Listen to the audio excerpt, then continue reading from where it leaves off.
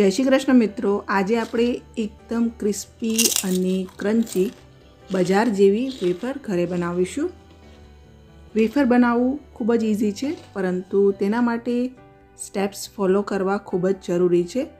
અમુક હું તમને ટિપ્સ આપીશ, જેના લીધે તમારી વેફર જે છે એ એકદમ બજાર જેવી બનશે વાઈટ બનશે અને ક્રિસ્પી બનશે.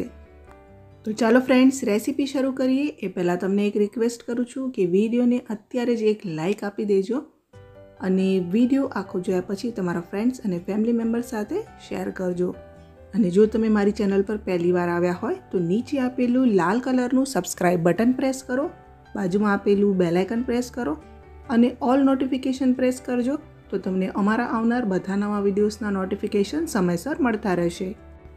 તો મિત્રો, સૌપ્રથમ હું અહીંયા તમને જણાવી દઉં કે વેફર બનાવવા માટે લાલ બટેકાનો ઉપયોગ કરશો તો વેફર તમારી એકદમ પરફેક્ટ બનશે અને એકદમ સરસ બનશે.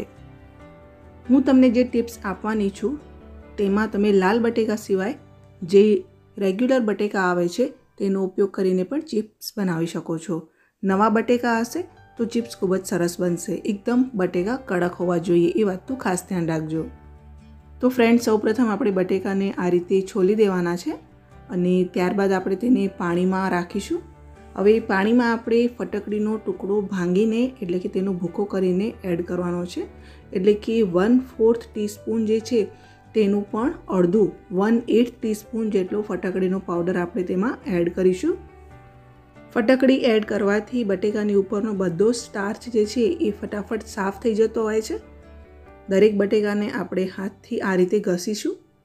અને તમે જોઈ શકો છો ફ્રેન્ડ્સ કે પાણી જે છે એ બગડી ગયું છે, એટલે કે એકદમ સાફ નથી, ક્લીન નથી, તેનો કલર ચેન્જ થઈ ગયો છે.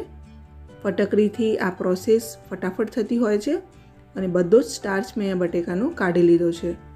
ત્યારબાદ ત્રણથી ચાર મિનિટ માટે આપણે બટેકાને આ જ પાણીમાં આ રીતે રહેવા દઈશું. અને ફ્રેન્ડ્સ ચાર મિનિટ પછી આપણે બટેકાને પાણીમાંથી બહાર કાઢી લેવાના છે. આ સ્ટેપને એકદમ પરફેક્ટલી જ ફોલો કરજો. તો તમારી ચિપ્સ એકદમ પરફેક્ટ બનશે. તો ફ્રેન્ડ્સ, બટેકાને મેં એક પ્લેટમાં કાઢી લીધા છે અને હવે આપણે તેની ચિપ્સ પાડીશું. તો અહીંયા મેં ચિપ્સ પાડવા માટેનો સંચો લીધો છે અને આપણે આ રીતે બટેકાની ચિપ્સ પાડવાની છે. બટેકાને ઊભું નથી રાખવાનું. આપણે તેને આડું જ રાખીશું આ રીતે એટલે ચિપ્સ મોટી પડશે.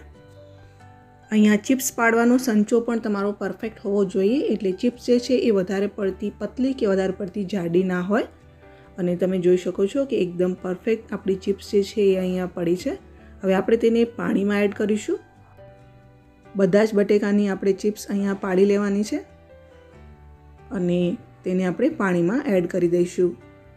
હવે ફ્રેન્ડ્સ, આવે છે ચિપ્સને ધોવાનો વારો.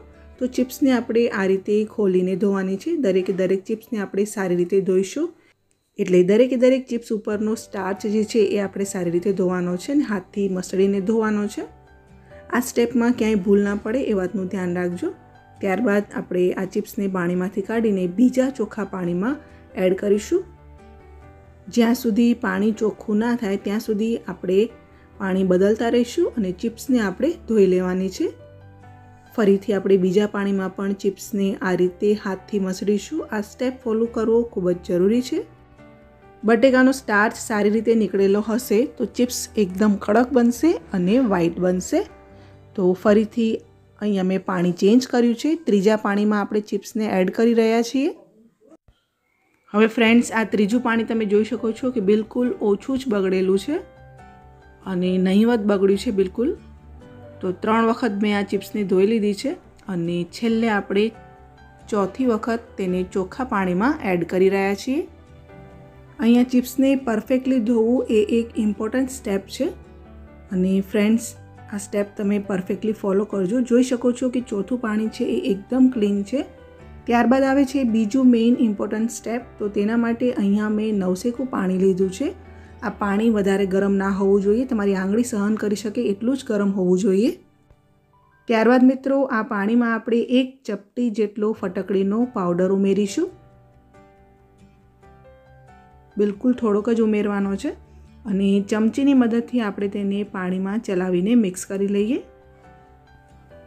હવે ફ્રેન્ડ્સ, આ ચિપ્સને આપણે ફટકડીવાળા પાણીમાં એડ કરીશું. આ પ્રોસેસ કરવાથી ચિપ્સની ઉપરનો બધો જ એક્સ્ટ્રા સ્ટાર્ચ જે પણ હશે તે બધો જ નીકળી જશે અને ચિપ્સમાં સ્ટાર્ચ નહીં હોય તો તમારી ચિપ્સ જે છે એકદમ વ્હાઈટ બનશે અને કડક બનશે. હવે અહીંયા તમને પ્રશ્ન થતો હશે કે ચિપ્સને ગરમ પાણીમાં કેટલી વાર સુધી રહેવા દઈએ?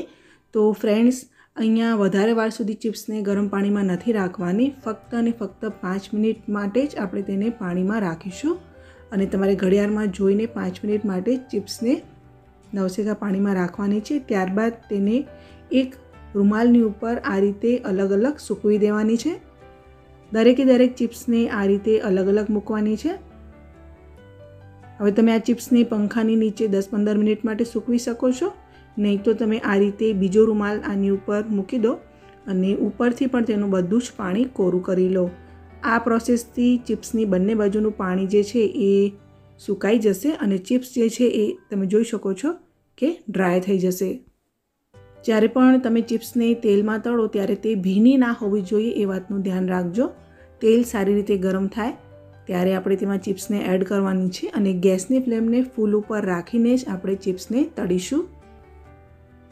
ચિપ્સને આ રીતે ચલાવતા જઈશું, જેથી કરીને બંને બાજુએથી એકદમ સરસ રીતે તે ફ્રાય થઈ જાય.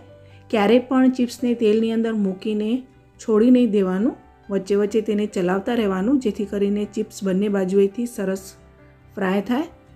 અહીંયા મિત્રો, ગેસની ફ્લેમને સ્લો પણ નથી કરવાની અને મીડિયમ પણ નથી કરવાની. જો તમે સ્લો કે મીડિયમ ફ્લેમ ઉપર ચિપ્સને તળશો, તો ચિપ્સ જે છે એ પોચી બનશે, કડક નહીં બને એટલે ફૂલ ફ્લેમ ઉપર જ તેને કડક તળી લેવાની છે.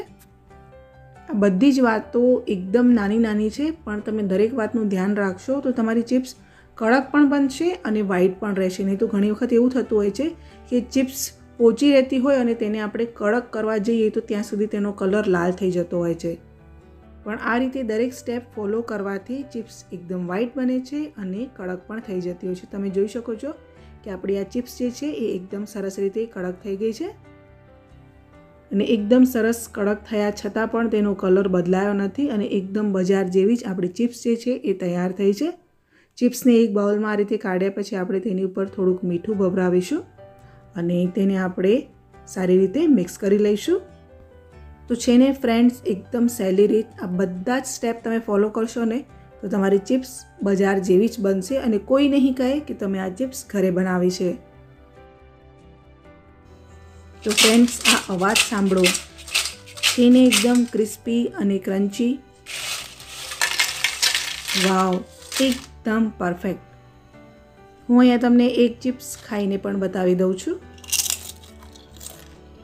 પરફેક્ટ તો ફ્રેન્ડ્સ કેવો લાગ્યો આજનો મારો વીડિયો મને કમેન્ટ સેક્શનમાં જરૂરથી લખીને જણાવજો. વીડિયો ગમ્યો હોય તો લાઈક જરૂરથી કરજો, તમારા ફ્રેન્ડ્સ અને ફેમિલી મેમ્બર સાથે શેર કરજો.